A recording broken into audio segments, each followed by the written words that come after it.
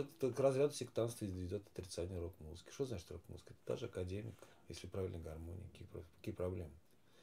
Вот, пожалуйста, типичный вариант. Римский Корсаков, Чайковский, Бурадин, Мусорский в одном и том же флаконе. Богемская рапсодия, Квин.